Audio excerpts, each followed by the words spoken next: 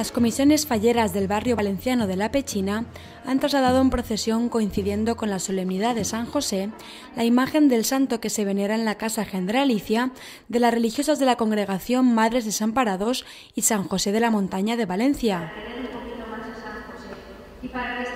Tras la misa solemne en la iglesia de la Casa Generalicia, ha empezado la procesión que ha contado con la participación de falleros vecinos y una banda de música que han partido desde la iglesia y han recorrido distintas calles del barrio.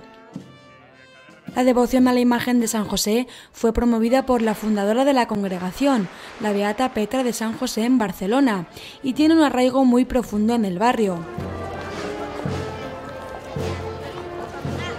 La imagen de San José que se venera en la iglesia de las religiosas es la más original de todas las que componen la imaginaría del patrón, ya que cuenta como particularidad artística única con una corona semejante a la de la Virgen de los Desamparados. Por otro lado, miles de personas se han reunido en la Plaza de la Virgen para observar el manto floral del catafalco de la Virgen de los Desamparados, confeccionado por los ramos de las más de 100.000 personas que participaron en la ofrenda fallera del pasado lunes y martes.